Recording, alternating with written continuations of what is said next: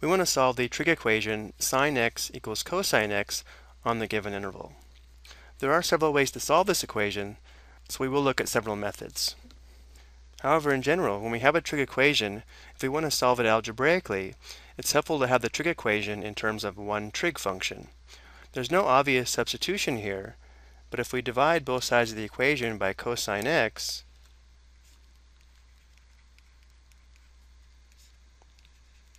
we can substitute tangent x for sine x divided by cosine x.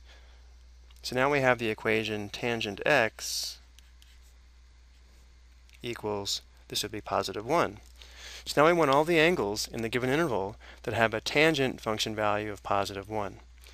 And we should recognize this from our reference angles or our reference triangles. If we have a 45, 45, 90 reference triangle, we can label the two legs of the triangle 1 unit and the length of the hypotenuse square root 2 units. From here we should recognize that the tangent of 45 degrees, which is the ratio of the opposite side to the adjacent side, is equal to positive 1. So one solution is x equals 45 degrees, or pi over 4 radians. But we want all the angles that have a tangent function value of positive 1 on the given interval. So remember that tangent theta is equal to y over x on the coordinate plane. So we just found that 45 degrees, or pi over 4 radians, has a tangent function value of positive 1. We know it's positive 1 because the x and y coordinates are positive in the first quadrant, but in the third quadrant, both x and y are negative, and therefore tangent theta will also be positive. So if we sketch a 45 degree reference angle in the third quadrant, this will give us another angle that has a tangent function value of positive 1. So this would be 45 degrees, which means 180 degrees plus 45 degrees would also be another angle that has a tangent function value of positive 1. 180 degrees plus 45 degrees would be 225 degrees, which is equal to 5 pi over 4 radians.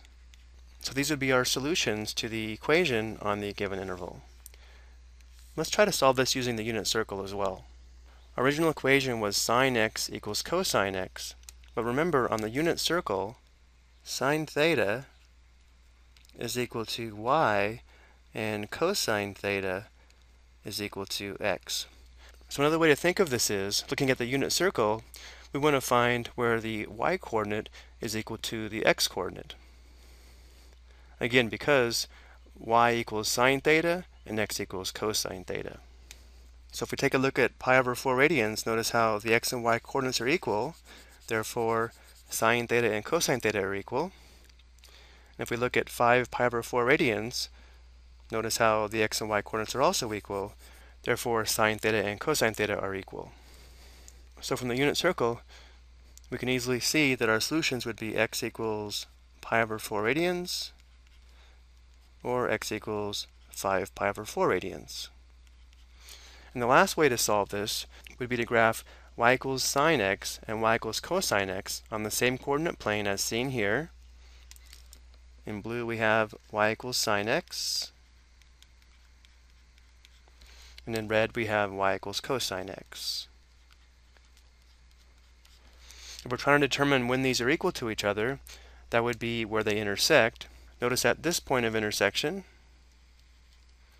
the x-coordinate would be pi over 4 radians.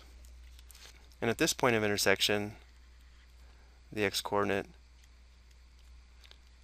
would be 5 pi over 4 radians. So as you can see, there are several ways to approach this problem.